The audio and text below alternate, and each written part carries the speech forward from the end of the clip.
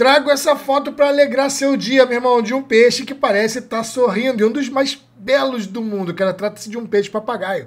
Em 2020, essa foto ganhou reconhecimento e aplausos ao se tornar uma das finalistas do renomado concurso Comedy Wildlife Photography por Alan Telles. Acredita, cara, o cara bombou aí. Bom, esse concurso tem como objetivo combinar o amor pela natureza com um bom humor. Resultado, isso poderia apenas gerar fotos realmente espetaculares. O registro é de um peixe papagaio feliz sorrindo. Ficou muito, muito engraçado. Mas não para por aí não, porque agora eu vou te mostrar uma sequência de fotos de peixe papagaio, cara, que são é um, é um dos animais absurdamente mais lindos. Repara, bom, uma das características é ele ter um bico, tipo papagaio, e cores, tipo os psitacídeos de uma maneira geral. Aí é pé de falar, velho, mas é cada foto uma mais bonita que a outra. O peixe é bonito demais, velho. Olha que coisa linda, cara. Cada um mais lindo do que o outro.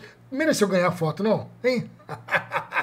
Só que não para. Temos mais fotos aqui, porque eu fiz com o maior carinho. Fui lá e peguei as fotos para você, lembrando que essas fotos são pagas. E se tu puder compartilhar, ajuda muito. Mas eu quero lembrar que esse peixe aqui no Brasil também é conhecido como peixe sabonete. Eu já pesquei alguns, tá? E sempre devo vir pro mar, porque a beleza, cara, é incrível. E não só isso, ele é meio escorregadio e não para por aí, porque ele costuma produzir um muco na hora de dormir. Pois é, ele secreta pela própria boca e se envolve com esse muco. Isso porque essa geleca, né? Essa meleca gelatinosa.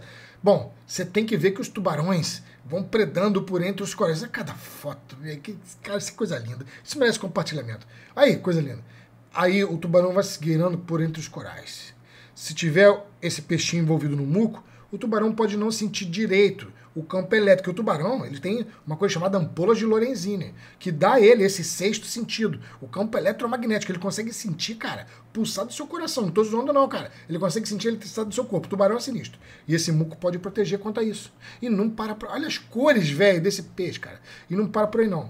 Esse peixe secretando esse muco, ele pode ganhar esse meio, essa meio proteção. O cheiro também dele vai ficar é meio que disperso e ele pode também utilizar isso para fugir, porque quando ele foge, fica só aquela geleca toda e o predador pode acabar comendo a geleca. E aí, sabe como é que é? Dá tempo dele fugir. De modo. Olha o bico de papagaio, velho, que tem esse bicho. Olha o bico de papagaio, que coisa linda. Bom, então a gente está falando de um peixe que é da família Scariidae, ok?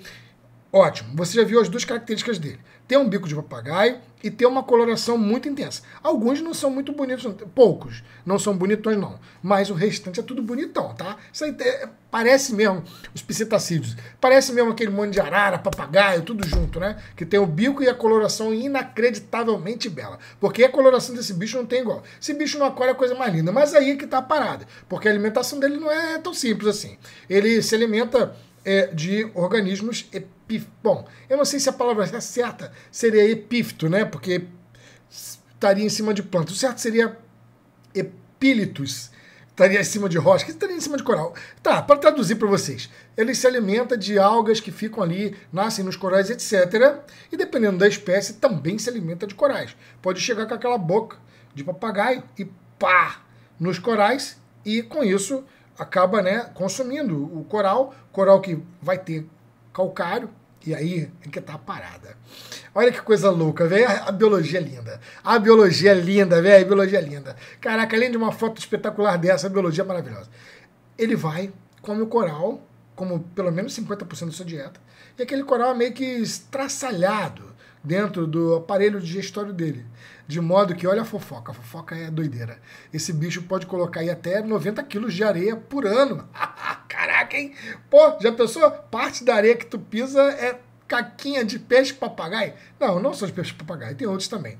Na verdade, a gente vai acabar. É, o certo é chamar peixe papagaio da família Escareídeo, mas a gente acaba chamando alguns outros que são coloridos também de peixe papagaio e alguns outros que têm um hábito parecido de peixe papagaio. Então, assim, não é um nome muito correto. E aí tem um outro, um outro detalhe muito interessante, cara. Olha que fofoca. Tu sabia que esses peixes, quando eles são mais novos, eles são fêmeas? E aí, quando são mais, mais velhos, ele, eles viram macho? Pois é, cara, olha que hermafroditismo interessantíssimo. Quando vira, vai ficando mais velho, vai trocando sexo. Pois é, peixe tem dessas doideiras, cara. Esse peixe aí é ovíparo, tá bom? Mas tem essa troca de sexo, tem esse hermafroditismo. Cara, muito interessante. Não, você já conhecia, você já tinha visto? Olha, ele existe nos oceanos tropicais do mundo inteiro, mas principalmente no Indo-Pacífico.